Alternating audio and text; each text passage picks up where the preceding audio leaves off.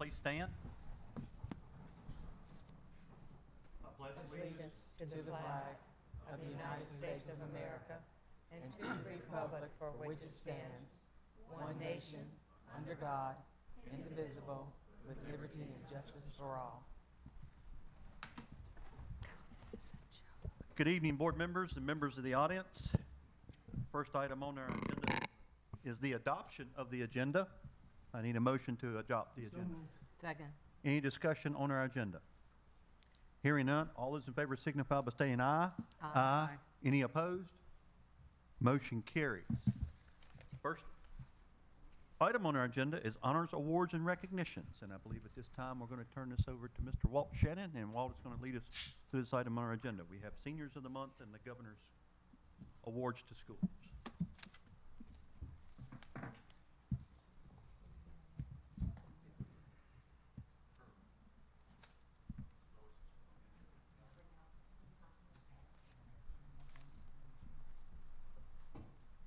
See what I did? I went down to the first senior of the month. Oh, no, I.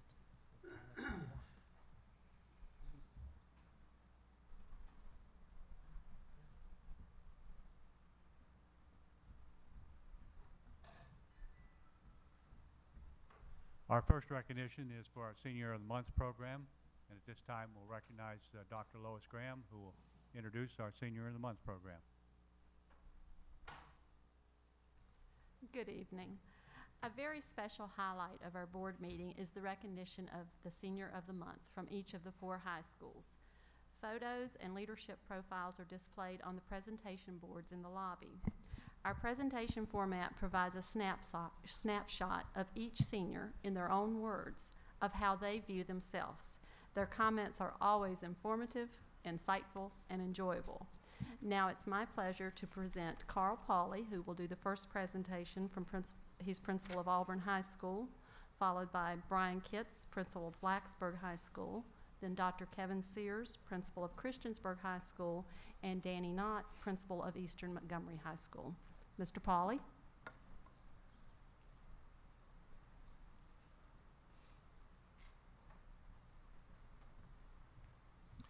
Thank you, Dr. Graham, members of the board, Ms. Blackburn. I would like to uh, introduce you all this evening to Auburn High School's Senior of the Month for April. It's Annie Blackburn, and she is accompanied this evening by her parents, Anthony and Melody Blackburn, and her younger sister, Sarah, if they would come forward at this time.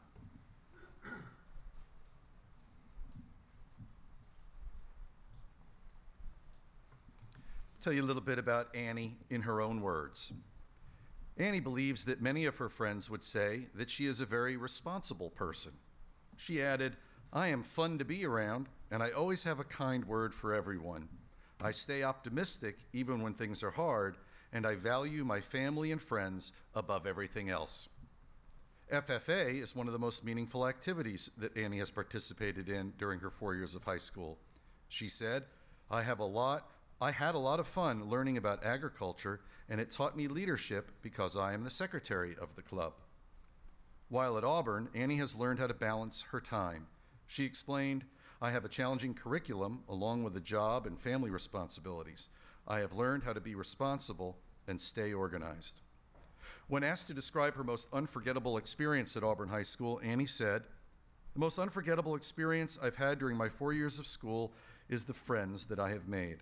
I think you can learn a lot and have a lot of things that stick with you, but the most important thing will always be the people you meet.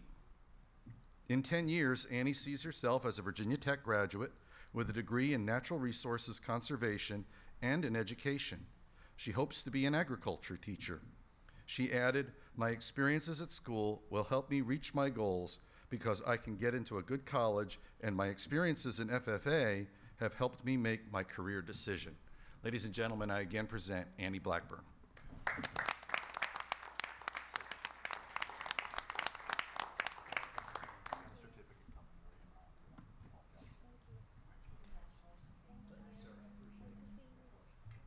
Congratulations, Annie. Congratulations.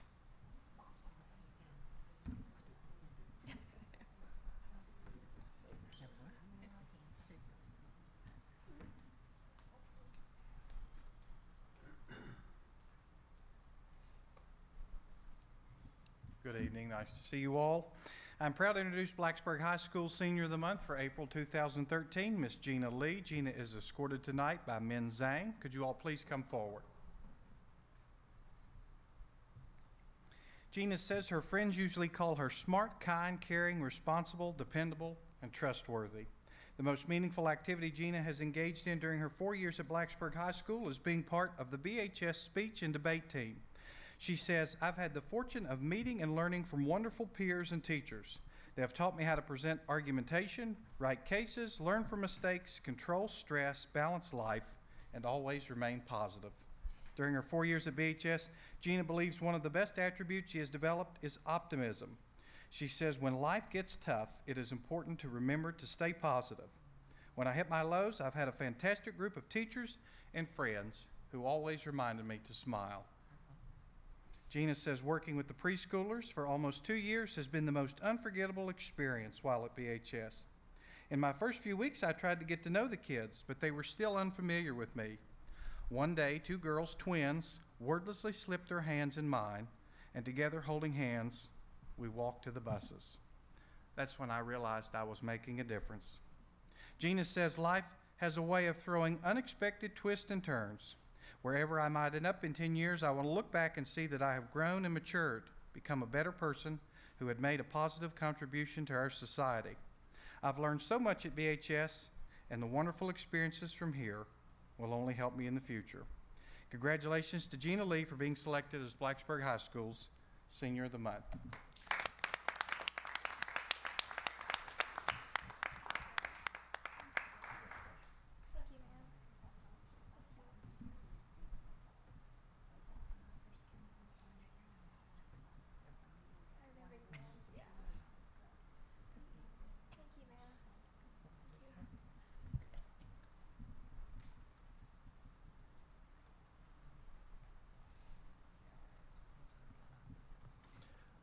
Good evening, members of the board, Ms. Blackburn. It is my pleasure to introduce to you Christiansburg High School's Senior of the Month, Darian Michaela Thornton. At this time, I would ask that Darian and her mother, Tammy Webb, and her younger sister and future CHS Senior of the Month, Riken White, join me at the front of the room.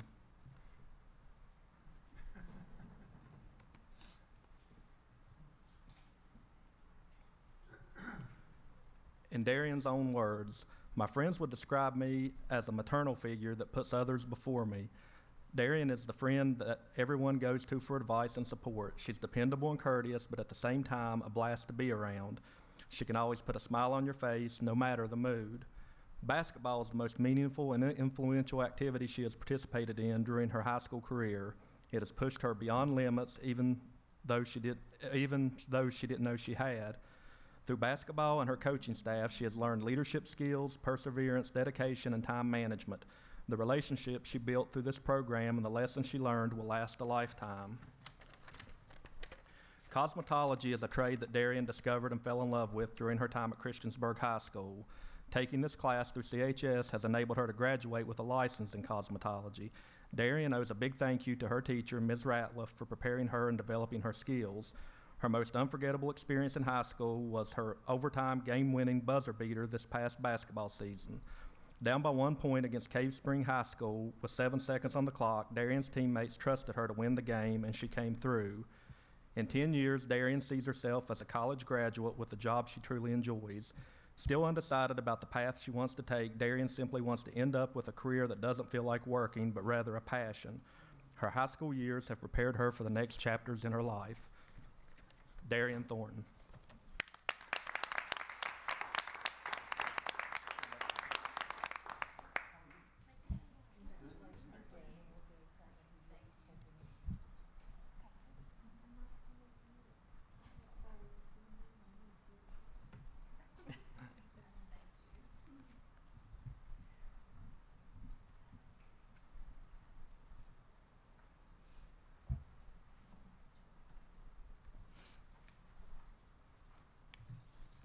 Mr. Blackburn, Mr. Jones, members of the board, it's my privilege tonight to introduce to you Eastern Montgomery High School's Senior of the Month, Marilyn Whitaker. Marilyn is accompanied tonight by her mother and father, Ben and Angela Whitaker, and her sister, Sydney. If they would come forward, please.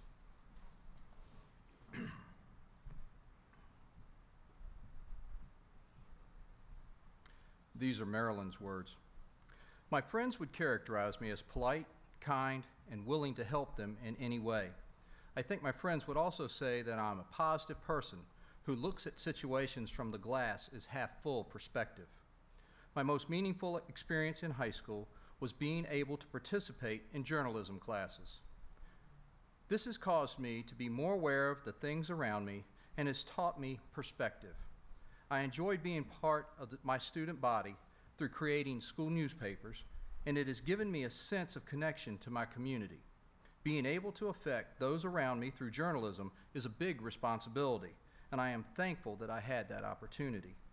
I have developed many skills during my four years of high school.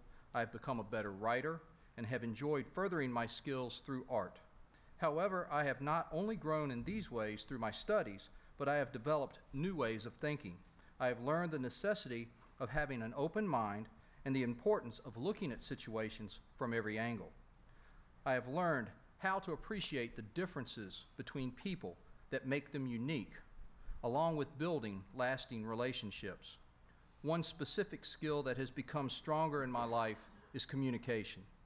I enjoy interacting with people more and understand communication is essential in whatever you do. My most unforgettable experience at EMHS was being able to represent my school by attending Girls State this past summer. This experience was such an honor for me. I am grateful to have had the opportunity to meet so many new people and obtain new perspectives. During my time there, I was able to better understand how I can be an effective leader in my school and community, and that knowledge will stay with me throughout my life. I am not really sure what I will be doing in 10 years, but my experiences at Eastmont have taught me skills that'll benefit me no matter what career I choose.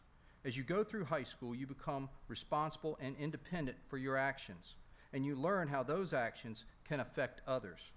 High school has taught me that no matter where I go or what I do, my education does not stop. Throughout my life, I will continue to gain knowledge and encounter new experiences that will shape me into who I will become. Congratulations, Marilyn.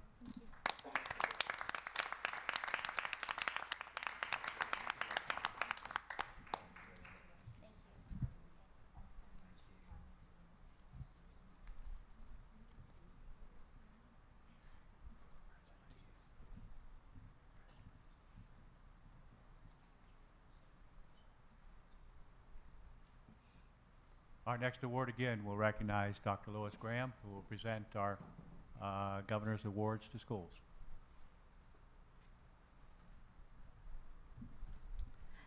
Good evening again. It is a pleasure to share with you tonight that three Montgomery County schools earned the 2013 Board of Education Virginia Index of Performance Awards. The VIP incentive program recognizes schools and divisions that exceed minimum state and federal accountability standards and achieve goals established by the governor and the board. This year, I would like for Carol Kaler to come forward, representing uh, Gilbert Linkous Elementary. The school earning the Board of Education Excellence Award is Gilbert Linkous. Um, we are certainly proud to see Gilbert Linkous in this elite group. Only 51 schools and one school division earned the Board of Education Excellence Award. Congratulations, Mrs. Kaler and Gilbert Linkous.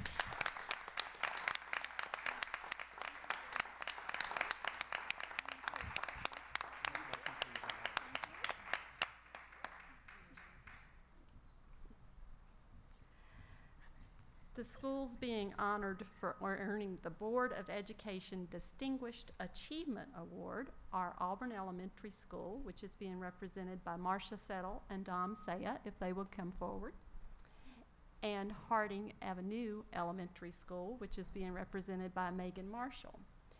98 schools earned the Board of Education Distinguished Achievement Award, and we are certainly proud of Harding and Auburn and their staff for being in this distinguished group. Congratulations.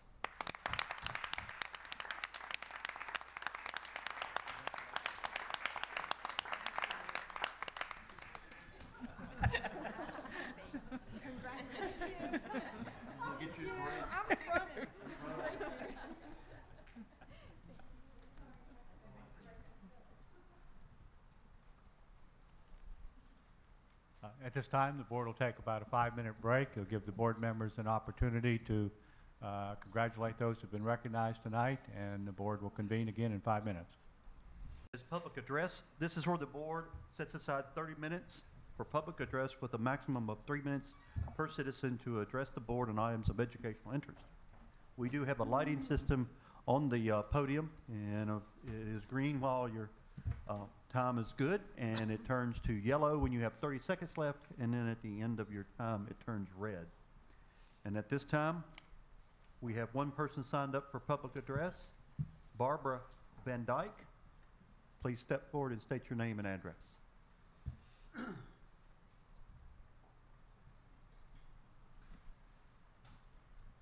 My name is Barbara Van Dyke. I live at 4397 Fraser Road in Radford, Virginia. I am an ISS aide at Blacksburg Middle School and at Shawsville Middle School. I'm here to request that you take into consideration the Obamacare law that goes into effect January 2014. According to the Obamacare law, an employer with over 50 employees and their employees who work over 30 hours a week who are considered full time only has to offer insurance to the employees that is cost efficient. The insurance only has to be offered, and if the in- individual does not purchase the insurance, then they are fined individually $98 the first year, and then it doubles and then it triples. Many aides have insurance through their husband's work, go to the VA, and already have their own individual plans. We have been told we cannot opt out. I understand it is a given, and we have no choice. I have talked to several Montgomery County officials, and I am told that Obamacare allows local governments and schools to delay this coverage until the start of the next budget date, which for Montgomery County will be July 2014. Therefore, the decisions concerning this do not have to be made now.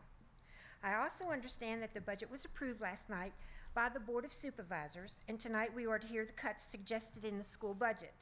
I am mentioning our dilemma before the cuts are suggested that the aides will be cons- given consideration. We are the little people in Montgomery County school system. The aides work directly with special students and probably know them better than their teachers. I have received emails from several aides who are concerned about what will happen to wages concerning the Obamacare deliver, dilemma. Will the health care be of quality that will actually pay for something if we are sick or injured? How much will deductible be? How much will we have to copay for a doctor's visit? I know there is no answer to these questions until you all hear back from Anthem, but please remember, we have not had a raise in four years. When federal taxes went up, there went a part of our salary, and now a big chunk will go to health care that a lot of us do not need. Those of us that receive the incentive have worked with the county for more than five years, and now everyone will be getting the same benefits as the longtime employees. Will there be compensation for the longtime employees? Increase in wages? A step raise? And how many aides will stay? Please consider our circumstances and realize most of us have been employed in Montgomery County for four or more years. Thank you. Thank you. That concludes all that have signed up. If there's anyone else in the audience that would like to address the board at this time, if so, please step forward and state your name. Thank you, Chairman Jones. My name is Connie Froggett. I reside at 1751 Brush Mountain Creek Road, and I'm speaking tonight as the president of the Blacksburg High School PTSO because I'm very concerned about one budget item in particular. For the most part, I support this budget, and I do hope it goes forward as it is. But in reflecting upon what happened yesterday, the anniversary that's occurring today, the thought of safety in particular is very much on my mind. And with that, I'm very concerned about how we are stretching our administrators, particularly in our secondary schools. Last year, we tried a little experiment at Blacksburg High School and Christiansburg High School by eliminating our one AP slash AD position. But what has really happened is we lost an assistant principal because the athletic director's job is a full time job. So we now have three assistant principals at Blacksburg High School. And although they have not missed a beat, and if anything, they've probably worked better as a team than I've ever seen anyone work together, we are literally working them to death. I'm frequently at the high school now just because of events going on, and I see at least two administrators' cars there until 7 o'clock every night. Now, I know they're salaried employees, they're expected to work more than the usual eight hours, but I think this is asking a little too much. And on top of that, they're usually there for a good chunk of the day on Saturdays. Not to mention, they also help cover athletic events when the AD can't be there. I'm particularly concerned about the effect this is having on Blacksburg High School. Given that we are trying to open a new school, we do have a very wonderful sub who comes in when Mr. Kitts has to be away, but it's not the same. And it's not that our kids are suffering because, like I said, they are stepping up, it's that they are suffering. And next year, we're going to move into a facility that's nearly 300,000 square feet, and it's going to be covered by three assistant principals. That's 100,000 square feet per person. I don't think they can cover that. And I, I think it's going to affect the safety and it's going to affect the smooth running of our schools, despite the fact that they are doing everything they can to make up the difference. It's just not working. It's a failed experiment. So I'm asking you tonight, I, I hate to see, you know, we, yes, we need to have supplies back. Yes, we need buses. And I, I would hate to see us lose any more teaching positions, but I feel like our secondary schools have really borne the brunt of these cuts, particularly at the administrative level. And I think you, if you look deep down, there are ways you could perhaps consider restoring these two positions at both Blacksburg High School and Christiansburg High School. And also, please keep the assistant principal positions at our middle schools. Given the cuts coming there, they need to stay as well. Thank you. Thank you. Is there anyone else that'd like to address the board at this time? If so, please step forward and state your name and address. Seeing no one, public address is now closed. Next item on our agenda is consent items.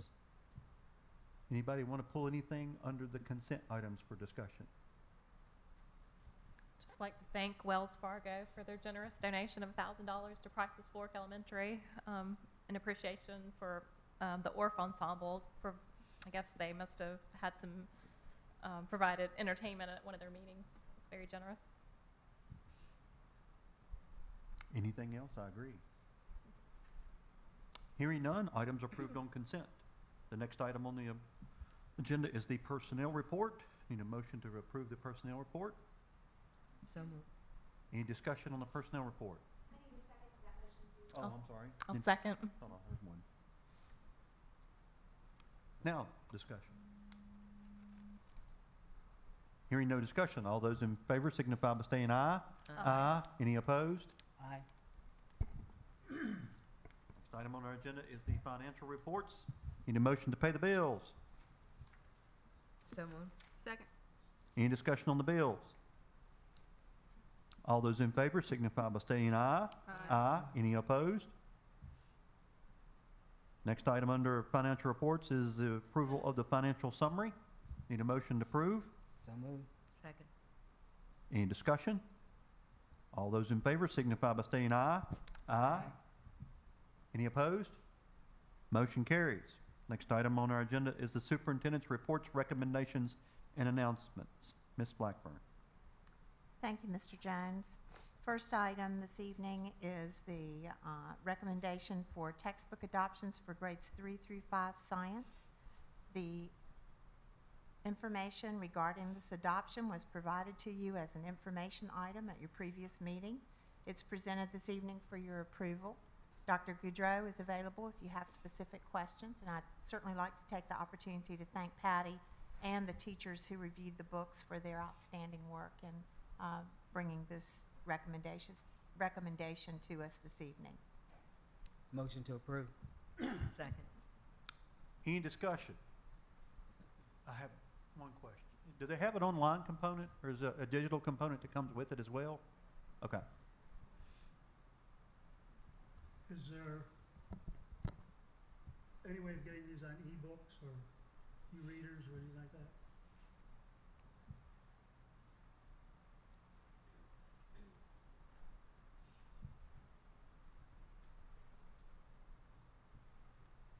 The textbook is available online, so if you have a device that is um, capable of accessing the internet, then the, the book is available for students. So my next question, which is a redundant question, would be, how many students in an average class have a device that could pull that up. And if that were true, and many of them would have that, how many would we have to supply to fill a classroom versus buying a book for every kid? We don't I don't have expect that. an answer, but if you care to try, go ahead. Uh, we don't have that data, so I, I couldn't Right, answer the right, my point, question. My point, Yeah. Thank you. But my, yeah, following up with Joe, is there a way that we could find that out and see whether this would help us?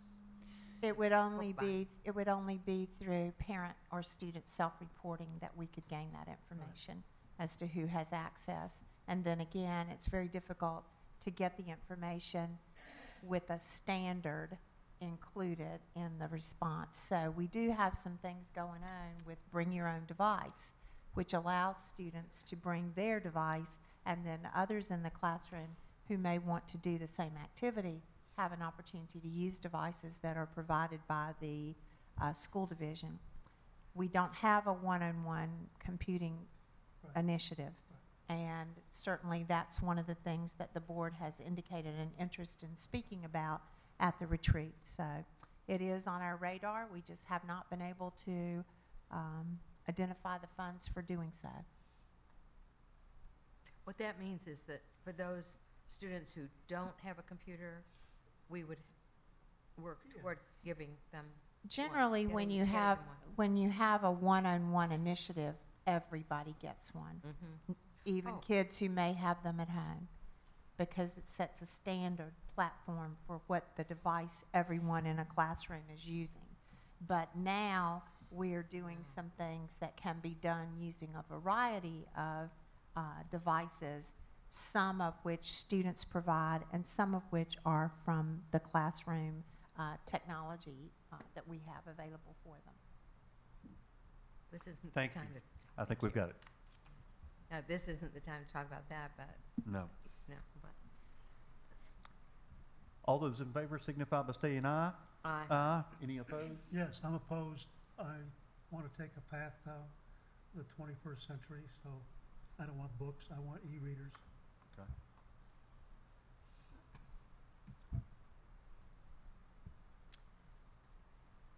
We got a vote, though, correct? Did you, did you get the vote? Okay, I'm just checking. So our next item is the 2013-2014 budget update.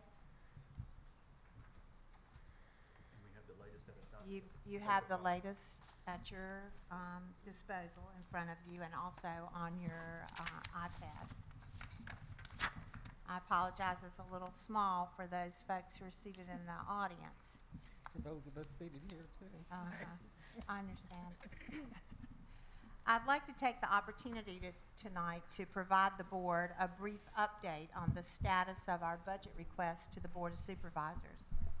As of last evening, the anticipated revenue from the Board of Supervisors was established by the actions of the supervisors at their meeting. First of all, by a vote of four to three, the supervisors approved the two cents per hundred increase in real estate taxes. The proceeds from the, from the increase are designed to go into a reserve fund for future capital needs of the school system. I thought you'd be interested in knowing that there was a great deal of discussion among the supervisors about the desirability of allowing these funds to accumulate over the next five years at a minimum so as to create a solid financial base for future construction needs. Two cents will generate approximately $1.4 million per year. So the Board of Supervisors couldn't bind future boards, but it was clearly the desire of the sitting board that these funds not be touched except in the case of an extreme emergency and be allowed to accumulate. Secondly, by a vote of five to two, the supervisors approved the 10 cent increase in personal property taxes. This was the first increase in tax on personal property since 1993. The increase will generate approximately 500,000 per year, and these proceeds are designed to go to the school division. In addition, the supervisors directed 1.7 million in expected new money to the operating budget of the school division, bringing the new money for Montgomery Montgomery County Public Schools to $2.2 million. 1.7 from increased revenue expectations and $500,000 from the personal property tax increase. Third, in addition, the Board of Supervisors had quite a bit of discussion about uh, some remaining uncommitted funds in their budget. There were about 300 and plus thousand dollars that were uncommitted. And from that, the Board of Supervisors ultimately voted five to two to give $137,999 of that unencumbered balance to Montgomery County Public Schools for the school board operating fund.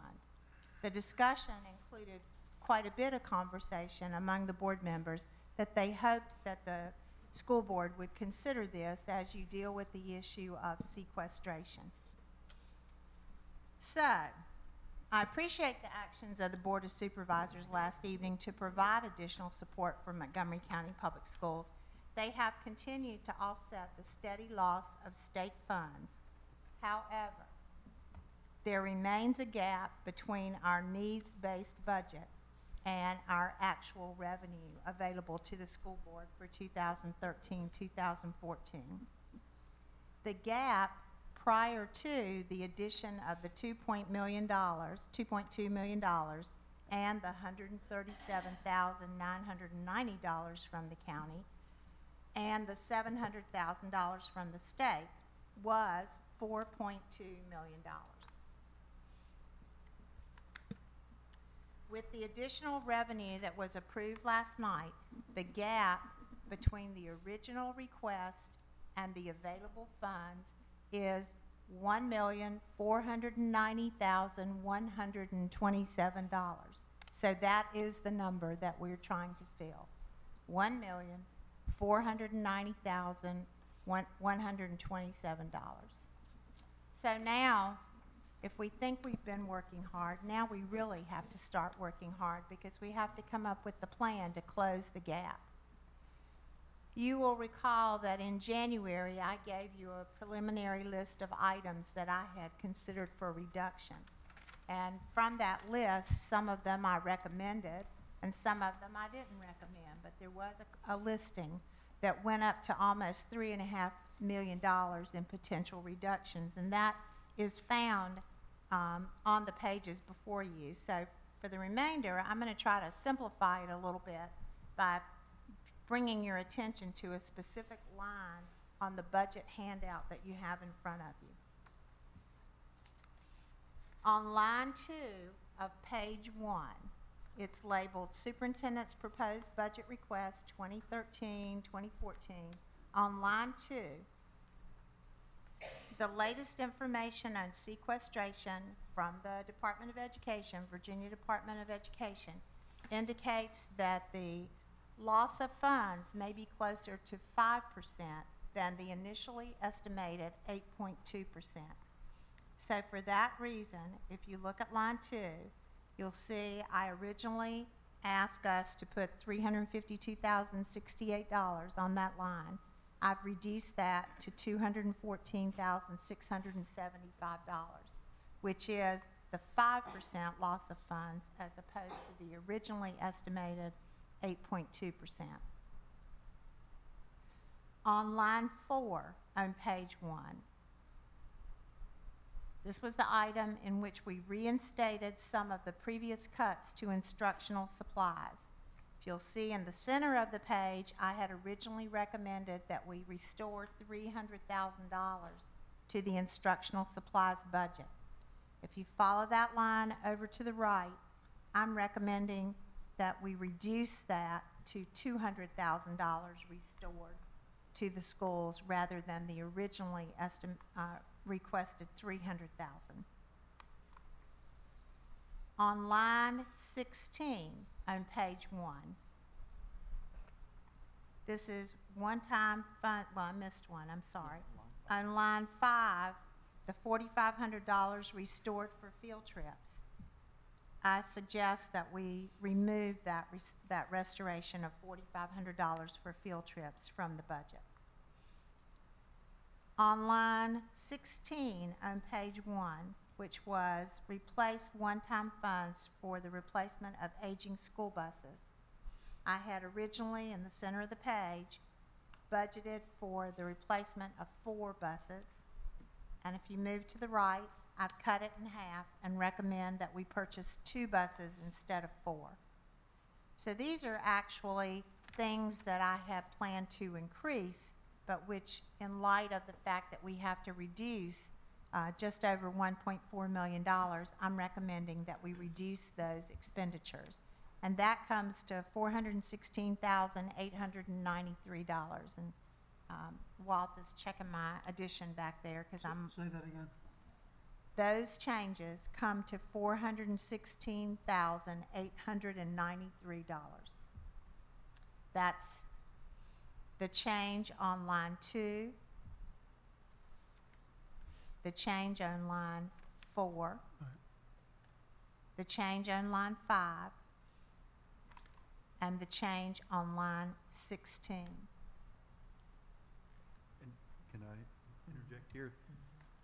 So on line one, that is an unfunded mandate right there, if I understand correctly.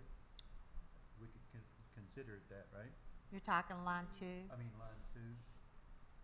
from the uh, sequestration, that is my recommendation, that if we lose five percent of the funds that we use for our neediest kids, that it will make a huge difference in the academic achievement of students. But yes, it is money that will be taken away by the feds that you have an option to replace or not to replace. And in line six, the Well, health don't- insurance Don't company. move on yet. Can can I add something to that? Mm-hmm. So that's not an estimate, that's, that's the, the amount.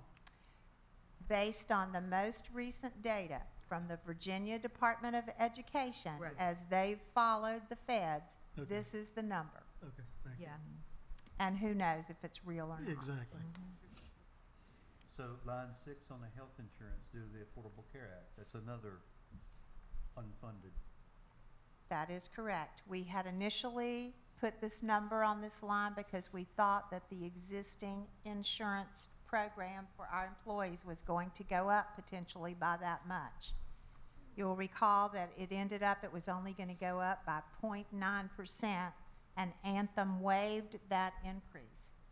We've left that number in the budget because the board will have to deal with the impact of the Obamacare requirements. But yes, it is a requirement for which you have not been provided funds. And that is the And- same thing from line seven with the VRS. That's another state mandate that's coming down that we have to start supporting the insurance. This budget includes restoring the remaining four percent of the five percent shift in VRS funds from the employer to the employee, and the money was not provided by the state for doing so. And then on line eight, the salary, two percent salary increase is kind of a bit of arm twisting again by the state that if we don't accept the SOQ funded positions funding, then this number here would, we would be given a raise to everyone, correct? That's, that's correct. The state gave us approx, just over four hundred thousand dollars for the two percent raises for employees, but to give all of our employees a two percent raise requires one point six two five million dollars. So if my math is correct, it's about two point two million dollars of unfunded These, these, mandates that we have to do or it would be difficult not to do, that is correct. okay? So again, just to recap, my recommendations in the, in that segment of the budget are on lines two, four, five, and sixteen. And they're basically not making purchases that we had planned to make. Moving on now to page two on line one of page two. This is the exact same information that I gave you back on January twenty-second. The chart is identical to the chart that you saw on January twenty-second. So I've reduced four hundred and sixteen thousand plus dollars on page one, and now I'm gonna look at page two. Tonight, I'm gonna provide you with my recommendations based on the real definition of the gap. And, um, on page two, line one, there was a leadership change which resulted in our Director of Special Education moving to point six, I mean, point eight of a FTE instead of one oh, and that saves us about fifty-three thousand dollars. That's one reduction that I recommend on line one. You're saying that the Director of Special Ed would be moved to, She has been working a point eight position since March one, which was approved by the board at that time. and now it will go whole, or? No, it will remain at Remain. point eight for the 13-14 school year. And It's a savings of about fifty-three thousand dollars because we no longer pay VRS, nor do we pay uh, a 1.0 salary, we pay point eight. Number two is the summer academy change. We'd initially looked at totally eliminating it and putting that responsibility back on the individual high schools. But because of the fact that we're gonna have two high schools that are pretty overburdened this summer and will have a very difficult time, I believe, running their own summer school program, I'm recommending that we reduce that cut to twenty-five thousand dollars and do a centralized summer program again at Christiansburg Middle School for one more year. On line, that's line two.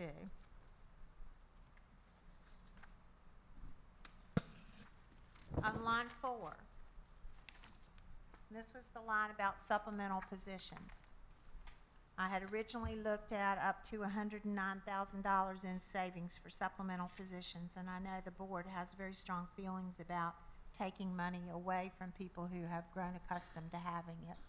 However, as much as I have looked at this, I have a very hard time justifying providing our school nurses with 20 days of work when students are not present. I consider it a nice to have, but not required for, for providing the necessary health services and records review that we need for our students. It's something that was added when you had available resources to do it. So I'm recommending that we move the nurses from a 200-day contract to a 190-day contract, and it saves $28,000. And I'm recommending that every other supplemented position be reviewed when it becomes vacant for a potential opportunity to reduce the extended days that are in that contract. The nurse group is so small that I think it would take you a long time to be able to adjust that contract year. And it is, it is really a nice to have and not a mandatory requirement for the school district. In fact, 190 days is not even mandated. 180 days is your student day, and that's when you most need your nurse services. So that's my recommendation on line four. Skipping down to line eight. I started out with this line when we were looking for four point two million dollars or three and a half million dollars or one of those bigger numbers. We looked at increasing class size by 0.5 FTE in grades K through twelve and re- and I have changed that based on the current budget to reducing one FTE from elementary grades three through five. We've looked at the projected class size for next year. We believe we can do this without a great deal of difficulty. It saves sixty thousand five hundred and sixty-two dollars. The big one is the change that we made in the in the middle school scheduling model, and it has provided, um, although we initially estimated nineteen point seventy-one positions, the schools have actually worked the schedule now. It's been reviewed. We know what they can, uh, do without and combine and and collapse and what they can't and it is closer to 15.0 units, but it saves you $906,600. And that's my um, final recommendation for a total of $1,073,234 on page 2 and $416,893 on page 1 which fills the gap of one million, four hundred and ninety thousand, one hundred and twenty-seven dollars. So this evening, I offer you these recommendations for your consideration and your discussion either this evening or at your board workshop on April 25th, which begins at 7 PM. If the board desires pricing information for other recommendations that are not included on my sheet, I need that feedback from you so that I can be prepared to provide you with that information on April 25th. Board members' comments, questions on the budget as presented by the superintendent? I do have a question about n- uh, item nine, where we were modifying the middle school class schedule. We actually had a vote on that mm-hmm. in a previous meeting. So why would this be included in here? It's like we're voting on it again kind of thing. It's, it's not really, I just had to show a way to balance the budget that was initially created, and this is where nine hundred thousand came from. I mean, I could add it, I could take it away on the expenditures side, but since we started it this way, it appeared easier to continue it this way.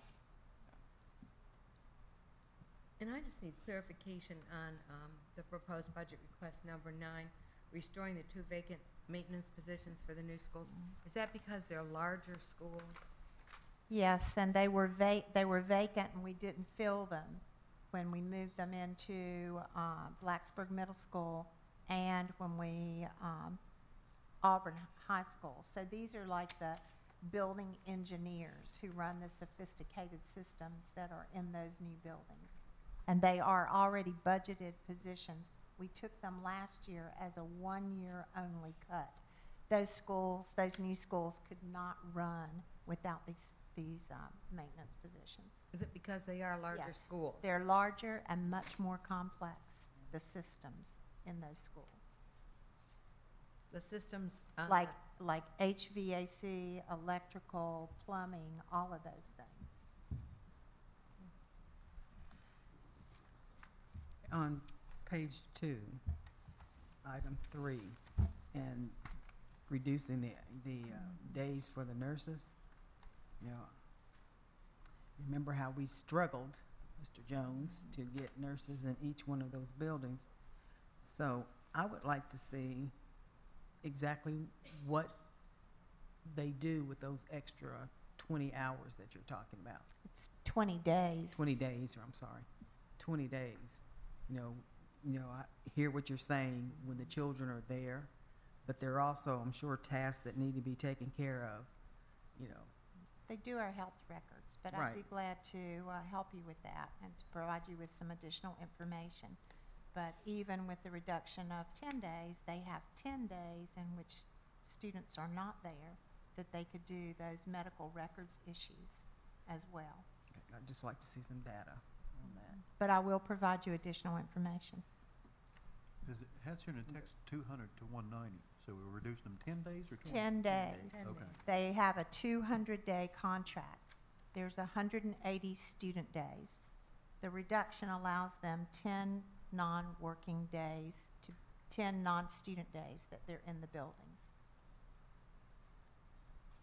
And And I guess the, the, the record keeping that I would be interested in is it, is this, uh, mandated record keeping? Kinder, it's kindergarten, the, all the shot records and that kind of stuff that we have to look at. That's one of the biggest, biggest pieces. Okay. But we also have a year-round, twelve-month coordinator who can assist us in that role as well if there happens to be some uh, additional work that is not being able to be covered by the school nurses at the school sites. I mean, they're critical. The nurses are, you know, Yeah. I don't want a school without a nurse in, in the current day and age. But I also understand that the majority of the work that our nurses do, do is directly with students, you know, and there are some issues. They go on field trips and some things like that, so their day might be longer than the standard student day occasionally. But they're, they're twenty days there. Twenty times eight is, you know, a lot of hours. I understand. So I made it with, after great um, thought.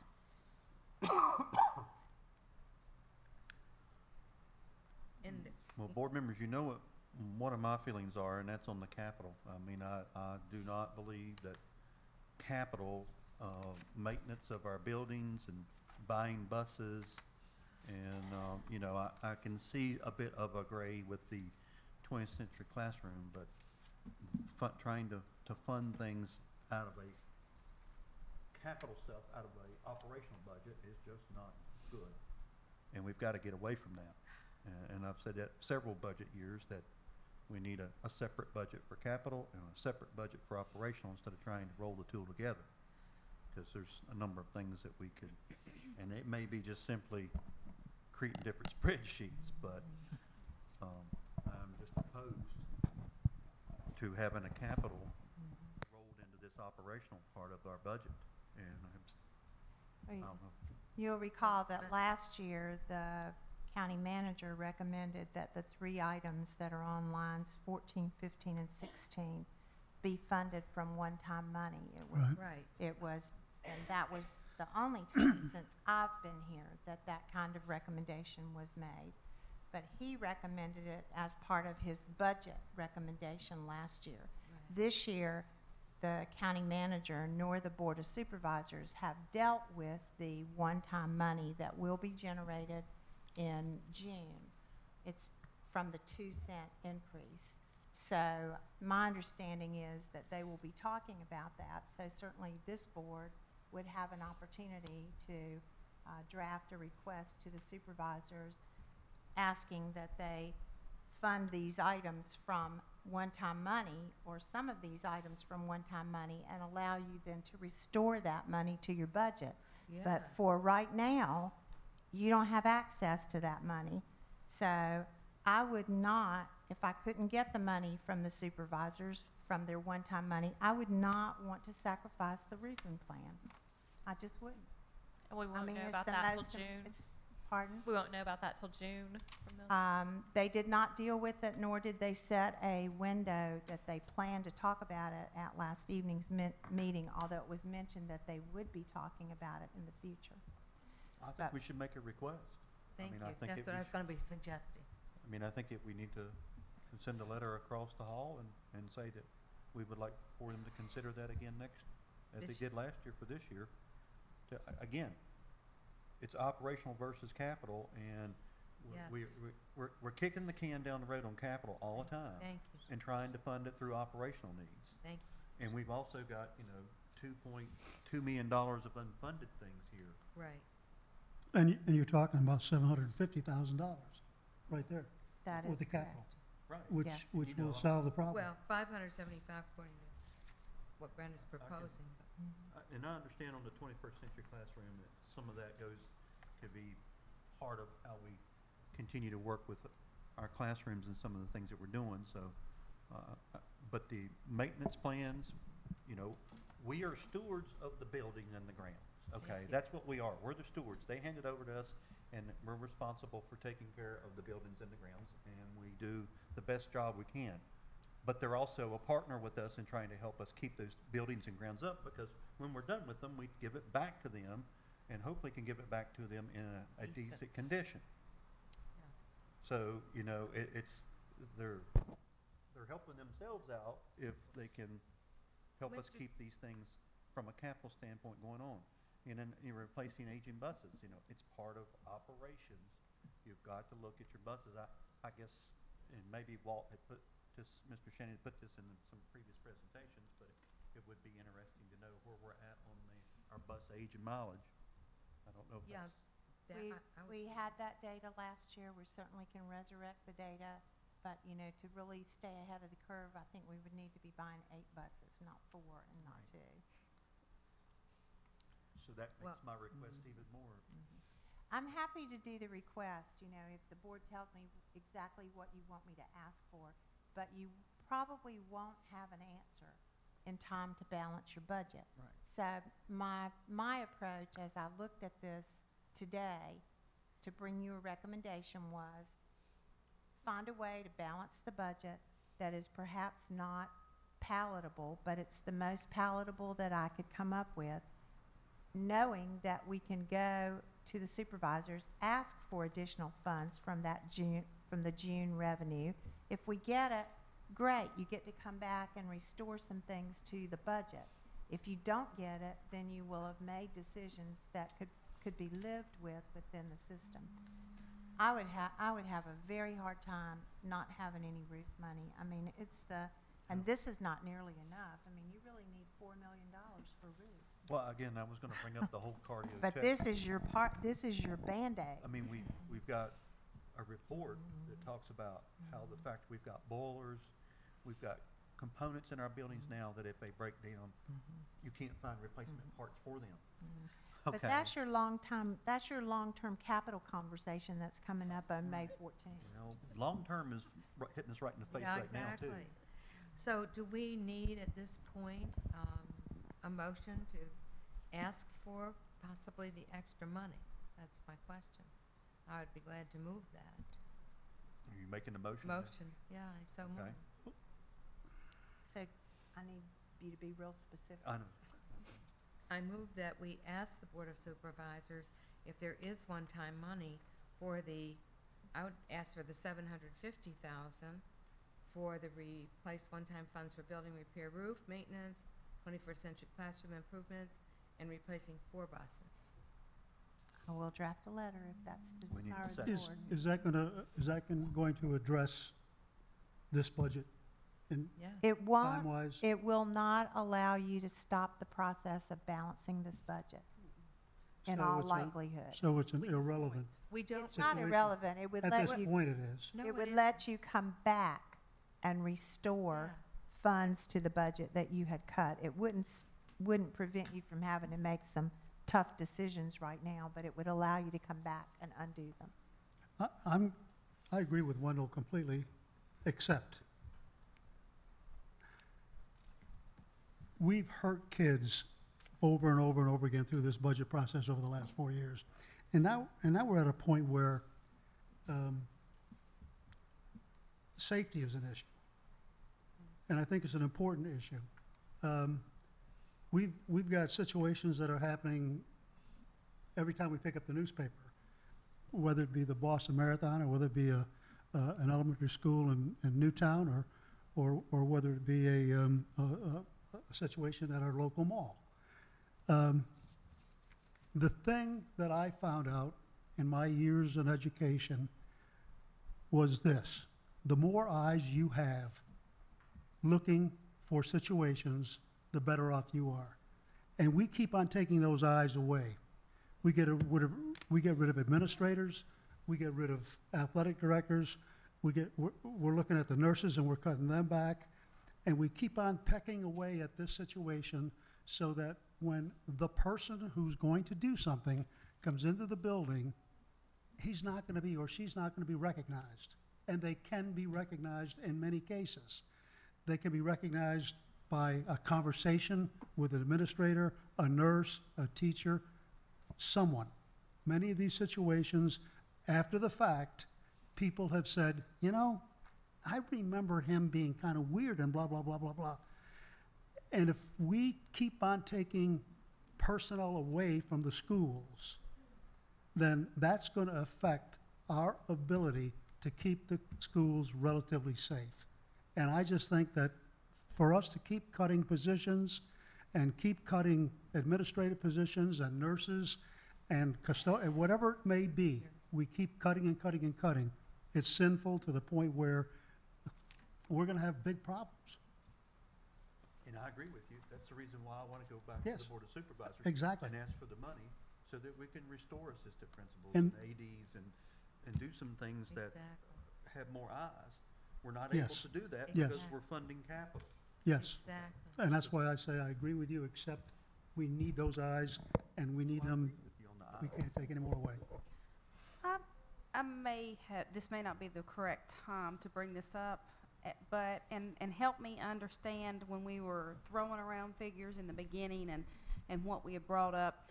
Did we discuss the savings of the gas cost from having to transport Blacksburg to Christiansburg? Because I know when we did that, there was a cost affiliated. There is, it's going into the move, that's gonna cost about a hundred thousand dollars. Okay, It so part of the just, plan. It's Gotcha. budgeted money, but it's gonna go in the move to bring BMS back to Blacksburg. gotcha, okay. At, at what I'd like to- point, So we still have a motion on the table, but no second.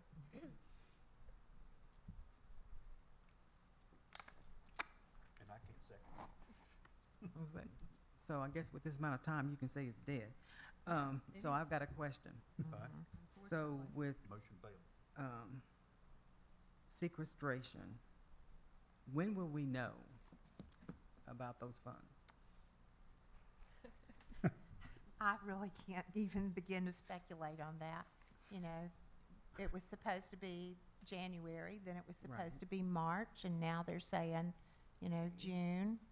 Um, it, you don't know. But It's, it's not, in my opinion, it's not safe to not budget it if you don't want to take the services away from kids. And, and I, Mhm. I believe Mhm. that is a good way to, that we need to approach that. Mhm. But it's already come down two and a half percent. Two point two. Right. So my concern with, especially hearing some of the discussion last night with our supervisors, is going back and asking for more money that we need, you know, for the capital. I absolutely agree with you guys. But we have, I don't know that they would be so willing at this point to say, okay, we'll give you the money before they've had time, before they've even started looking at what kind of money they're going to have, you know? Um, I've got some, They're you know, gonna have one month of two cents. Yes. So, Mr. Shannon, would, can you tell me how much money that is? We're gonna have this. Sometimes I can't talk and do math at the same time. It's all right. I mean, we should be asking for it. Last year was, you know, quite a bit of money, but it was twelve cents for one Well, month. based on the previous Yeah. budget, uh, one, per- one cent increase in the real estate tax generally uh, uh, increased seven hundred thousand dollars. So year. you're only talking for half a year on this, which would then would generate three hundred and fifty thousand, so the total would probably not exceed seven hundred thousand, uh, ba- based on the, um, on that increase. Okay. Your increase last year was, uh, based on, um, a cents. twelve cent in, in, increase. And so it would be a m- much, much lower number. Your, your question on sequestration and when you get into the federal, uh, if you recall, the federal government's budget begins one September and runs, uh, or starts one October and runs through, uh, September thirtieth. Normally, it's in August and September when we receive the final allocations as to what our budget allocations are going to be under the new grants, and these are mostly titles. Your Title One, uh, Title Six, which is special ed, uh, Title Three, English language learners, most of those titles. We usually receive an indication about this time of year to fill out a grant application, but we don't know what um, that final amount's going to be. And the state really can't tell us at this time because they have not received uh, what their amount's going to be for the upcoming budget years.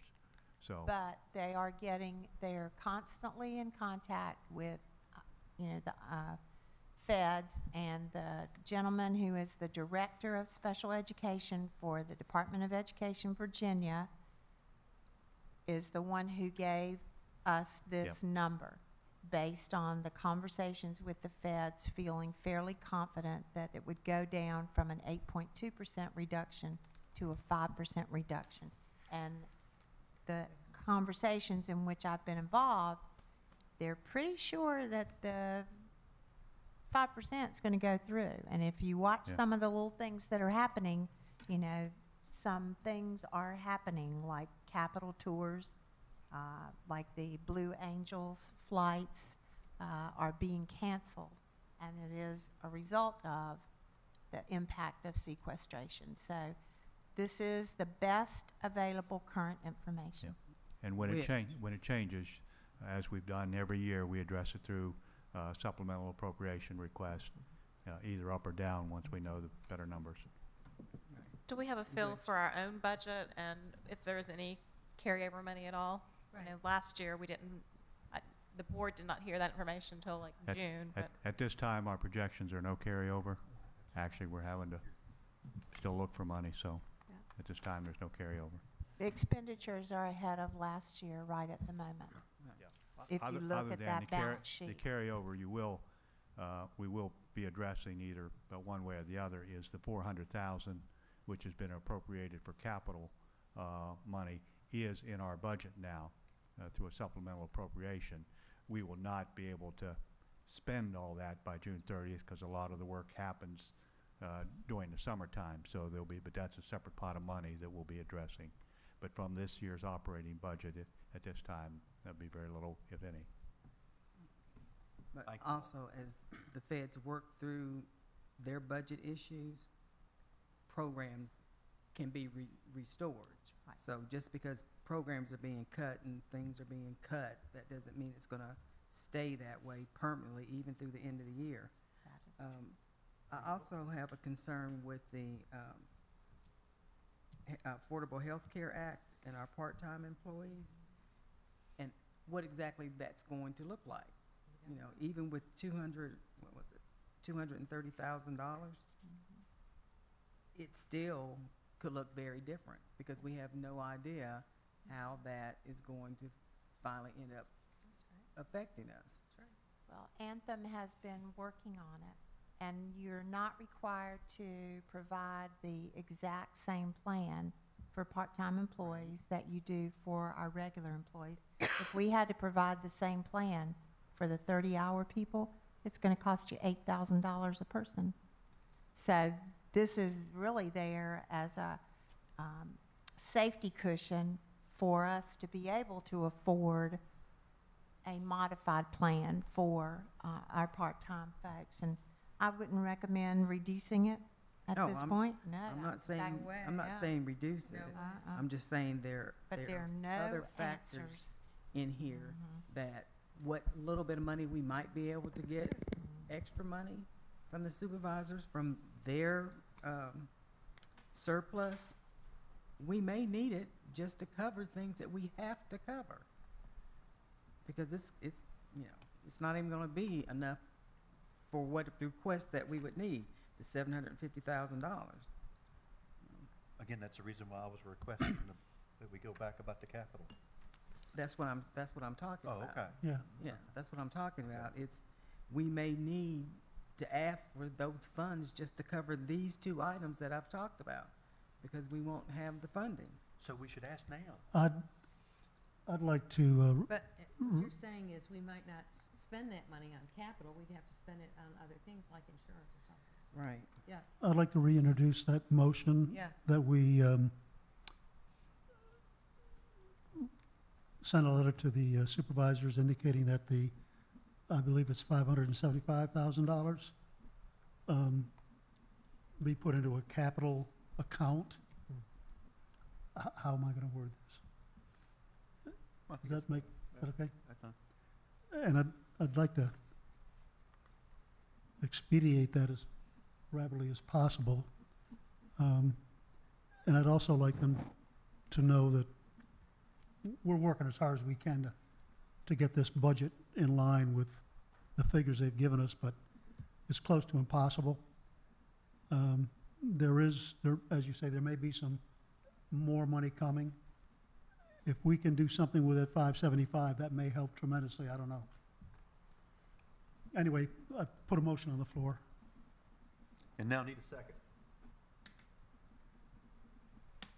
I'll second it for discussion. Okay. Thank All you. right. Thank you. So So we now have a second and open it up for discussion. were your thoughts to do that instead of the seven fifty because we're thinking that they only have seven hundred? The- I'm using uh, Ms. Blackburn's figure of five seventy-five, which is minus two buses. Okay. So what is the difference between your motion and mine, Joe? The seven fifty versus. Yours was seven fifty, mine was five seventy-five. It's the amount of money, he said, Yeah, yeah. The amount of money is For- different. For the superintendent's recommendation, to match the superintendent's recommendation. And to move it as quickly as possible to see if we can, um, Joe has have it talked- affect this, this budget. Joe's talked about things, Penny's talked about things that we may have to look at putting back in here. And I think that's one of the reasons we should at least ask. I mean, they can say no, But that motion was for capital? and it would be to, to, Right. to put toward capital, but we also have the flexibility. No, not if we ask for it for capital. Yeah, And see, I'm that's not where gonna my be problem's caught in at, that mess exactly. again. Um, And in the motion, do we want, we want to say that it's specifically for these three items? I mean, when we go across requesting it, it would be for these three Sure. items. And, uh, like, With the funds that uh, were approved last night, was it one point four? Are you including that, that they are for that capital into our operating budget? Um, Help me with that. fu- are that you part. talking about the five hundred and seventy-five thousand dollars?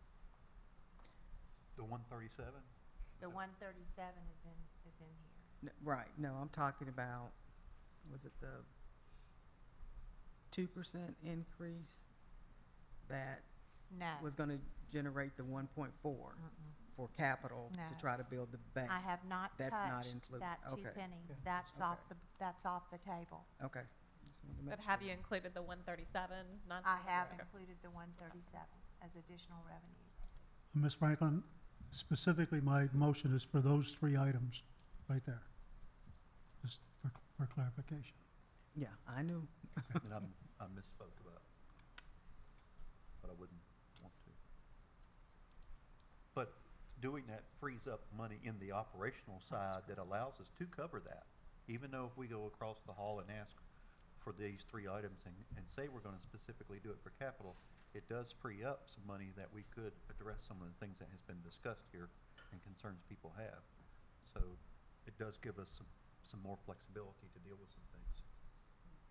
And one of those, as Mr. Ivers pointed out, is the needs for security, mm-hmm. you know. Absolutely. Well, there was some conversation, Ms. Franklin and I heard last evening among the Board of Supervisors, and the supervisors and the county manager are aware that we have been engaged with the three municipalities, uh, with the county sheriff's office, with the town of Blacksburg Police, and the town of Christiansburg Police, doing security audits. And they are aware of a couple of the top recommendations that are coming out of the audits that I've looked at already. Um, Carol Edmonds mentioned it to them last evening. They have a capital maintenance reserve of $3.4 million. And my recommendation to the board would be, as soon as I can give you what I consider the top two or three recommendations from that, the safety audits, that we make a request to the supervisors for security improvements to come from perhaps that capital reserve, because it is for those kinds of things. The other thing that's out there that's on the burner is that we have the opportunity to apply for uh, $100,000 with a $25,000 match from the state for security improvements. But the state has not released those grants yet. So we don't, we can't apply for them until they release them.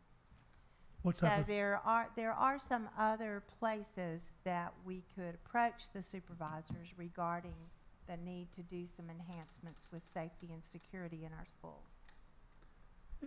I think, I think we need to be careful with, I, I don't want our schools to, to end up looking like fortresses. Um, i- If, if there's gonna be security, I think it's gotta be internal, and it's gotta be, people have gotta be vigilant, and they've gotta be trained properly and so on.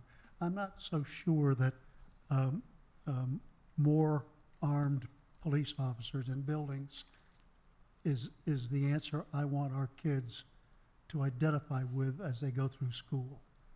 Um, I don't know where the cost is coming from that, but um, my, my feeling is if we hire, if anybody hires people from Capitol or anywhere else to go into our buildings, then is that going to take money away from as I said before, more personnel from the school side who know the kids, who are trained to, like nurses, counselors, trained to recognize different situations, is it gonna take away from those positions? It doesn't necessarily mean personnel to make the buildings more secure. Okay. There are other systems that we can put into the buildings, practices that we put into the buildings, but take funding to happen. You know, modifications that may need to happen at some of the buildings. Uh, as Ms. Blacksburn, Blackburn has been passing along with, information from her, uh, meetings with the law enforcement. So my feel is not necessarily personnel. I agree. I agree. Should we vote on I that agree. motion, though? That's what I was getting ready to do. I was gonna ask if there's any more discussion on it. Hearing no more discussion, we have a motion on the table. All those in favor of Mr. Alvar's vote to request the five hundred and seventy-five from the Board of Supervisors for capital? All those in favor signify by saying aye. Aye. Any opposed? No? Any opposed? We have one opposed. Got it? Phyllis. Did you say you? He you asked said me if. I said no. I said no, one day. Okay. Let's double check. You got clarification on that? You- You know, I do. I will prepare the letter. thank you very much. Mm-hmm. Any other further discussion on the budget update? Oh. Facilities update. Oh, Quick, hurry. Next item is the monthly facilities update. I'd ask Mr. Baronato if he would come to the podium. As he's walking, I would just ask the board if there are any specific pieces of information that you need for the evening of the 25th. If you would give me a heads up so I can have the data available for you, I'd appreciate it. yeah, I just. Dan? The health insurance versus. Good evening. Uh, Going over some of the things that we've seen before that were in process. We did complete the mobile unit, uh, moved from Old Price's Fork to Auburn Middle School to replace a deteriorated one there. And we're in process, uh, we've taken the one away from Kipps, cleaned that area up, and moved it to Falling Branch, but we'll probably not be able to uh, totally open that until uh, this summer. Roof replacements, we have two for this summer, uh, and we got some bids last week, and we're in the process of analyzing those for responsiveness and responsibility and reasonable price. Our summer moves, uh, that's the big thing that all, all of your support departments are uh, working on right now. Facilities department, technology, warehouse, purchasing, and also food services and we're meeting every two weeks and developing our detailed plans on that. And VDOT contacted us last week uh, for a job they want to do at Belview to improve uh, guardrail there, and you'll see that go in probably within the next two months. They're coordinating closely with the school and the principal to make sure uh, when they do that, that bus operations and school operations and SOL tests are not impacted. Before you move on, replacement of roofs, is that a ongoing cycle that we just follow? Or is that through inspection and evaluation of the roofs? Right. How, how do you do that? A, a couple years ago, we had a total system roof analysis, and we had, they had recommended a number of repairs and roof replacements for a five-year plan, and we did the first year of that, and in this year, they were recommending these two roofs be replaced, and uh, that was approved last year and funded, and uh, that's what we're in the process, and we'll do that this summer. So it's not cyclic, it's something that we really need? Yes. Good, thank you. I'd like to know about the VDOT guardrail at Belview. Is that gonna go all the way across the front of the school, or No, what exactly there's an existing guardrail uh, uh, where the bus loop exits the school. And right now, it comes, uh, it's on 114 and it comes sort of into that exit. And it's going to be, then there's a wood post fence. The wood post fence will be taken away and the guardrail extended down into the campus Oh, to make it overall much stronger. Okay. Because it's curved, it needs, they've determined it needs a longer length to be effective and as strong as it can. A modern standard, it's an old guardrail, and they're bringing it up to their modern standard. Oh, okay. To keep cars from coming onto campus, basically? Uh, Well, guardrails deflect cars from going off the road, so. Oh, okay. Okay, I didn't know. We also look at uh, PTA and booster projects, and in the first case here, Town of Blacksburg pro- project at uh, Kipps Fields, the restroom they're doing. And uh, you could see, this picture was taken last week, it's just about complete. They were testing and balancing uh, the building and expect it to open in a couple weeks. Thank goodness. That's a much-needed improvement out there over It- what they had. It's a sweet little building as well. It's, it's well done. Very well done. Uh, We are working with uh, Price's Fork. Uh, They put in to uh, develop uh, a raised garden planter there. They're working with Home Depot, is helping them with that. And uh, I would mention that we had a lot of help at a number of schools during the big event with Virginia Tech. And uh, at Price's Fork, I think it was Valley Landscaping that uh, really stepped up and, and helped at Price's Fork. So uh, another good little project. And the BHS is also doing storage buildings. What are those? Uh, They're beginning to talk about that. Okay, Uh, Those are at the multipurpose fields at the new school. okay. Uh, They were in the approved conditional use permit as future buildings, and uh, the booster clubs are starting to s- uh, think about uh, building those. I missed that. Building what? I'm sorry? I missed building what? Uh, Multi- Storage buildings. Storage buildings, uh, Out near the practice fields, multi-purpose fields. I think it was in February, we started reporting at your request on the status of the former schools' properties. I'll go through it quickly. Uh, The old Blacksburg Middle School, uh, town received a rezoning proposal, and there's a public meeting coming up next Monday, I believe, the 22nd. this information was provided directly by the county manager to us on the current status of the projects, Right. properties. Elliston Lafayette uh, Elementary. Uh, Of course, those buildings have been demolished. The property is now going to be auctioned. And that date has not been set yet, uh, but that's in the process of being set. So you can look for that to be auctioned. Do you know why it mo- they moved to auctioning? I don't. Instead of selling? Any? The- The property has been, uh, has had signage on it for sale for some time, and although they've had a couple of folks take a look at it, there hasn't really been any real interest, and so the feeling appeared to be that they might move the property more quickly if they were to put it up for auction. How big is that property? It's approximately eight acres, I think. Price Fork Elementary School, uh, supervisors put out a request for proposals for prospective purchasers for that in February. Uh, Those proposals are due at the end of this month, and they'll take a look at those and go from there. Former Blacksburg High School, as you know, the town has expressed an interest in that, but no negotiations have occurred yet. Shawsville Elementary School, uh, the property is available for, for marketing for sale. Uh, we are doing some s- temporary storage in there of ex- existing furniture, but we've told them, if you remember, we surplus the building and said we could be out of there if they're, they have a buyer uh, within, I think it's 90 days. And finally, 200 Junkin Street, our favorite old school board office. Uh, that is in the process of having the title transferred uh, from the school board to the Board of Supervisors. We're working with the county attorney on that.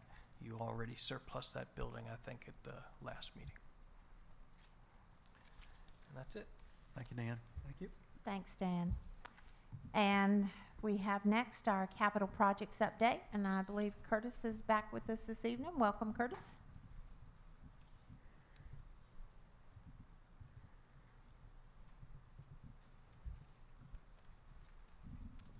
Evening. Good evening. I know it's been a couple months since we give an update, um, and there's been a lot of progress since then, and so I was going to show you some photos.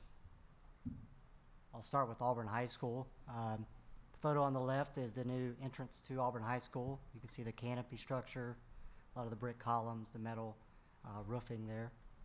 Uh, on the right is another photo, another perspective from the southwest side, from the road going up to Auburn Elementary School. Uh, you can see the classroom wing on the right, the entrance will be in the middle. The uh, gyms are on the left side of the picture there.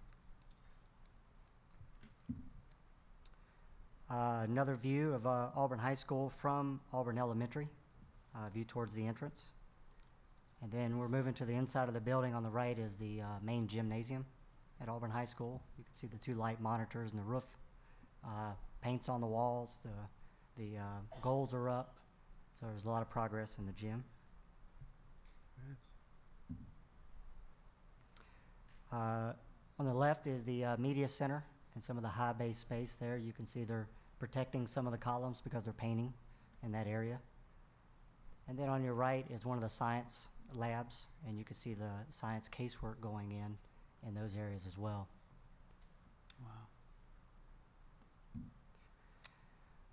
Blacksburg High School, uh, some views of the exterior on your left is uh, looking uh, from the southwest towards the classroom wing. Uh, the entrance would be to the left of that, that end of the building. You see some of the glazed block and the brickwork there. All the windows are in pretty much, except for a couple. Um, on the, the other picture is the other end of the classroom wing, you can see barely that the uh, greenhouse is being constructed at this time. Um, Uh, this is a view of the uh, media center and the entrance to the building. You can see the new site wall in the front. Uh, classroom building will be on your right there as you're looking towards the entrance, um, with the administration on your left. And then this is a picture of Blacksburg High School's gym. Uh, you can see the partition in the middle that splits the gyms. In here, of course, there's paint on the walls and uh, a lot of uh, progress in the gym areas. This is, uh, on your left is the auditorium, uh, view looking at the stage area. Um, Speakers have been installed and lights, fixtures have been installed. You can see the acoustical ceilings, I think they call those floating ceilings or clouds. Um, And you can, uh, on your right is a science lab in Blacksburg High School with some of the casework that's uh, installed there. Um, I'm kind of surprised, it's kind of like a small college campus at both schools. Now you say that and everyone's gonna be saying we built a college. Um, Montgomery County is uh, in the process of procuring FF&E. They're ahead of the ball game there. Uh, some purchase orders have been issued and some are in process. Uh, tennis courts at Auburn High School were turned over last month, so they are using those facilities just as they are the uh, softball field. Uh, we got the building permit for Auburn Middle School last week, uh, and so we are starting the planning for construction to start on Auburn Middle School uh, this summer once students move out of the uh, existing high school. Uh, we're still on target for, uh, to meet our dates that's in the contract for substantial completion, which is good news. Uh, a couple other things uh, you should be aware of is we are starting work on, or branch is starting work on Route 8 to widen the road and make improvements there, which means that, that uh, there will be some traffic concerns uh, for the folks coming from Floyd in that area and, and back home. So uh, you will see that over the next month or two. And uh, also understand there might be a tour coming up in the next few weeks. Yes, uh, Millie out of Dan Baronato's office will be contacting you with uh, dates. The last week in April and the first week in May, we'll be doing tours at, I think it's 5 p.m. So We're doing them for you all and also have extended the same invitation to the Board of Supervisors. with that, I'll take any questions. Thanks for being on Yeah. as much time, I mean, the time scheduling is tri- been tricky. A lot of people saying, Thank is it really true? It's not going to be opened on time? Are those rumors true? Like, that's what we hear. All right, thank you. We get, yeah, we get, we analyze schedules every other week, it seems like, so we're on target. And the weather's been fairly helpful, right? Yes, and we're hoping that it, Yeah. Sun comes out and it dries the site, so we Yeah. get some of the site work done, so we're crossing our fingers. Thank you. Now, when you say a tour, I've got a lot of parents who've been asking if they can go and see the building. No. I'll leave that to Ms. Blackburn. It's not, it's not time for that, Joe. Okay, we, we have a very aggressive construction schedule to meet. And Okay. so Mr. Kitts and Mr. Polly have been taking uh, department teacher groups in, and they've also been taking selective parent advisory committee groups who would go with them. But to do general tours for the public, we're No, not that's, there. that, that, that's what, pretty much We are meant. That was doing the, pa- we are doing the parent advisory. Okay, advisory. good. Thank you, So, sir. Thank you. Appreciate that. Yes, thank you. When do we start talking about a celebration of the opening of these new high schools? We usually don't do um, a dedication until after the school is in use.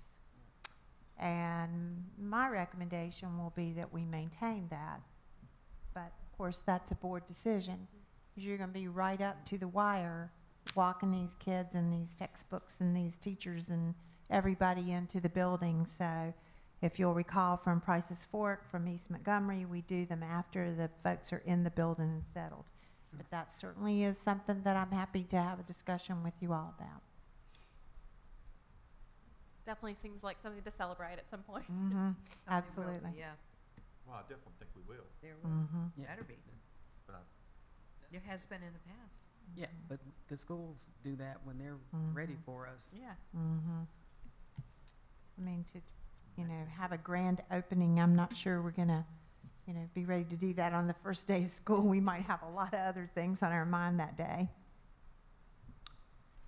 Next item on the agenda is unfinished business, and under unfinished business is the school board retreat. And uh, I think the, o- the only thing that, uh, we. The date of this? We discussed a Saturday retreat, and we discussed a time from eight to two. Have we put a date out there yet? Oh, good. Not, not a lot. I don't think we've actually come up with some sort of a targeted date yet in which we want to have our retreat. So I think it would be, if you have your calendars handy, it would- now would be a good time to discuss when we would like to do this. And I would suggest just throwing out a month, I'm gonna throw the month of June out there, since uh, school will be finished up.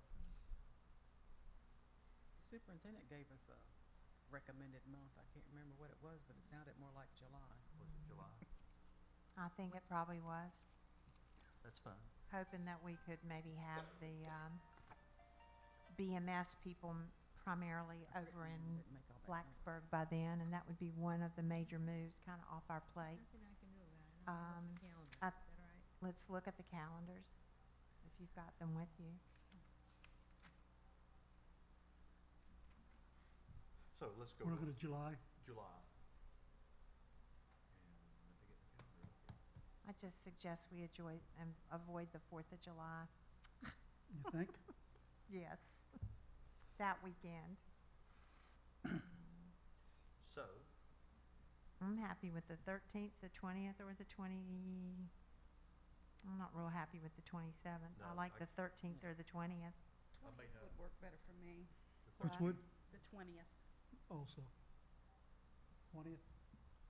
At this point, both are okay. no, What? twentieth won't work for me, I'll be on vacation. I start my vacation on that day. On the twentieth? Yes, ma'am, that's the plan. I would really like to suggest this doodle poll thing. If somebody can't do the figuring it out, I- I'll get on the phone with you and help you figure it out to come up with dates for something like this. Yeah, Doodle is great. Does anyone have a, So you're talking Problem with that? thirteenth? I don't know why we can't figure it out now, but that's okay. I don't have my summer plans all figured out, but I'd be glad to, you know, let you all figure out the Saturday and I can fill it in later, but it's. What was the matter with the thirteenth? Doesn't work for me, and it's rare that I ever have a date that doesn't work, so. Yeah. Okay, so it's April. Or what about, like, even, I know we were talking about, um, July, but wonder if we went later in June, because it's got five weeks in it. Well, twenty-ninth Like the would not, twenty-ninth. twenty-ninth wouldn't work for me or the first. The first or the twenty-ninth wouldn't work. Just an idea. Okay, Okay, so it's April Or the twenty-second wouldn't either. if we gave it till the middle of May, so folks might be able to see more about their planning mm-hmm. in our second meeting in May. But is June fifteenth a possibility for people?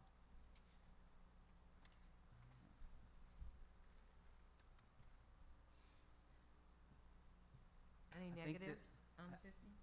I think the superintendent was saying the month of June was gonna be busy getting things pushed to get into the buildings. Right, but July's, You know, I'm happy to do the fifteenth, you know, the other, if that works for everybody at the table at the moment, I'm happy to do the fifteenth. you sure? But the concern I have is, I don't really have a lot of feedback from you all about what you want to talk about. And I don't want to just talk to you. No. I, I would like for you all to decide what you want to talk about, so that we could actually have a conversation about the things that are important to you. And, you know, give me a half hour to talk about, you know, what I have on my radar for the next year. But, you know, it would appear, as I've watched and heard the discussion here, that there's some things you all would just like to talk about, rather than me have people talk at you. Well, I thought Wendell's suggestion of looking at last year's retreat and looking at some of those issues that we were involved with then and carrying on. What do you think, Wendell? Is that what you were thinking? Well, I, I think I put several things out there, that's what I'm looking at up right now, but, um, one was virtual learning, one is safety. Think I indicated in the, um, email that I think that we need to look at our current state of where our schools are out from a safety standpoint, and that we need to create a vision of what we consider to be safe schools three, five, ten years down the road, and, and the issues that we're gonna face, and start addressing and planning that. Uh, I think the same thing is true for, um, the, uh, virtual learning, online learning. I know that one of the things, and, and Joe touched on this tonight, um, but at the conference, we had a, the technology track at the national conference had a lot of topics talking about moving from textbooks to ebooks and textbooks, how much they had saved, the, the cost related to it. So, you know, it may be worthy of trying to tie virtual learning and ebooks. And again, there was a lot of stuff in the technology track that talked about issuing iPads. He's, I mean, we were, I was seeing numbers of, uh, some school divisions issuing four thousand iPads, thirty-five hundred Chromebooks, different things of that nature. But that would are we- Occurring out there, so, you know, I think if we, while we are equipping our classrooms with the infrastructure technology, we're at some point in time gonna have to start talking about how we're gonna equip the students with Yes. the technology.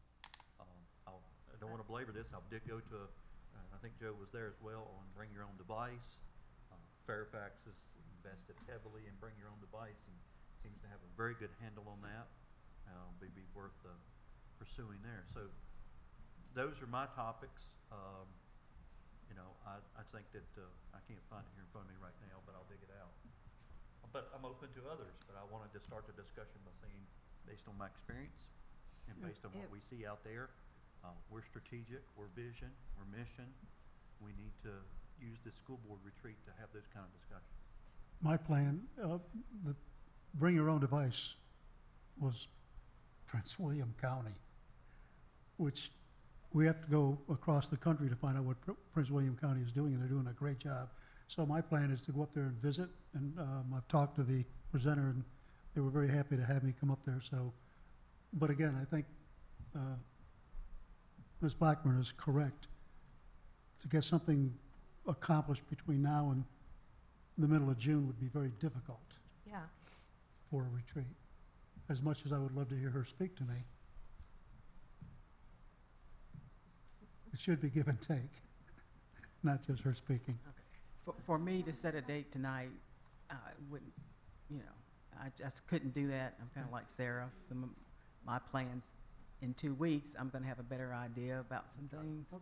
I wanted Well, to bring it up, and maybe Sarah's then- idea about the doodle, whatever it is. Yeah, that's what I was gonna say. Let's do a I- doodle. I think it's, you know, there's nothing wrong with trying it. If it doesn't work, it doesn't work. There is a legal concern regarding the bill that needs to be investigated. Oh. If board members are voting, there, there's a legal concern that needs to be investigated. Even on a What did she say? Burke said really doodle's not a good idea Uh, because of legal are a little more concerns. official until the board members take action on Okay. All right. Yeah, we wouldn't run it want- past uh, Brad. Right, we wouldn't want to be doing any voting. Uh, To me, it's more of just providing information to one source, but not really discussing it, because that's also where it gets sticky as well. So, uh, that, but thank you for reminding us, that's a very good point, I appreciate that.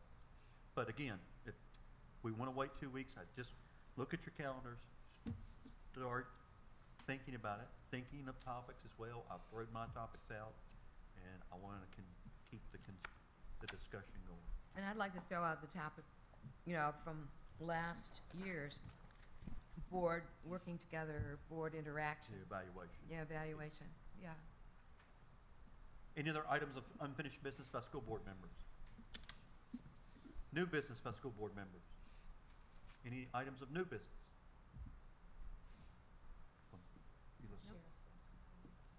Oh, the sheriff's SRO request. Today you received an email from the, um, Ms. Blackburn saying that the Right. sheriff has asked that we put the DARE officer in the county schools. One day a and- week. One day a week, and I guess that would be alternating from school to school, one day a week. And I, I certainly don't have an issue with it, other than, you know, it's just the county schools. It is not all of the schools in the town of Christiansburg or the town of Blacksburg. Now, they do have officers, and uh, there are officers there, but I just want the board to be aware that we- it wouldn't be like a full coverage for all elementary schools in Blacksburg, in all of the county. And I, I Well, are the towns officers doing it yet in, in the towns at this point? All of the law enforcement agencies have picked up their presence in our schools. Mhm. So it's not unusual to have officers walking through Blacksburg schools, Christiansburg schools, or the county schools. But they're only, the only assigned officer to an elementary school at this point is Falling Branch Elementary School. And then to, uh, not today, but I think it was yesterday, I got the request from the sheriff's office that they take a current SRO, I mean, a current SRO trained officer who's been doing DARE at the elementary schools and assign that person for the remainder of the year on a rotational basis to the elementary schools in the sheriff's jurisdiction. That would be Auburn Elementary, Prices Fork Elementary, Eastern Montgomery Elementary, and Price, Belview. Belview. Belview. I na- named the same one twice, so, and Belview. So, um, that's the request before you today. I do know from my chief's meeting last week that the federal grants for SROs, for, uh, increased SROs in municipalities is out. It has a due date of May fourth. At least two of our law enforcement jurisdictions have indicated that they are interested in writing a grant, although they're a little concerned about the competitiveness Sure. of the grant in the big scheme of things from the federal standpoint. And so, uh, if, if they do, on your May seventh agenda, you'll have a copy of that grant because you need, you would need to agree to accept the officer if they got funded. So that also is probably a little part of what's going on with putting an officer a little bit more in a school to see how it works on a short-term basis And with the elementaries. And would an SRO be there throughout the day then? All day in one school? One day per day in each of four schools is what the sheriff is, I understand One day that. per week. Mm-hmm. But that's for the county, but then if they got this grant, They not necessarily. it would still be maybe moving around school to school. They would design what their service model would look like. The grant would design what the service model is at the school. 'Cause I was curious about how helpful it is. I wanted to know the helpfulness of having an officer in a school just say one day a week, rather than having someone there all the time. I was Well- just curious to know about. For me, just some common sense would be, as Joe kind of alluded or, or spoke to, you have another set of eyes there in the building that are trained to look for, you know, things that we might need to tighten up on, uh, help folks understand things that they may need to look for. Um, and I would hope that it would not be a uh, scheduled rotation so that folks would know when they might be in the building. Um, I I appreciate the fact that the sheriff came to us and asked us before someone just said, we're gonna do this. What do you all think, you know? Well, again, I wanted to make, that we're all in agreement, we want to do that. I just want to make sure Yeah. that those of us that, that, uh, would- if we're asked about full coverage, it is not happening. But it, the, the police presence is definitely there, and I do see it when I drive by the schools. Any other items of new business by school board members? Next item is an announcements and information. Any announcements and information? Well, I'd just like to have a moment of silence, or at least all of us being together on the special day of today for tech and New River Community College community and Boston community and just students are very much involved and just the thought from us to the to them. And then uh, I do want to thank the Board of Supervisors for really stepping up for our educational program since the state is being so non-stepping up, shall I say, at this point.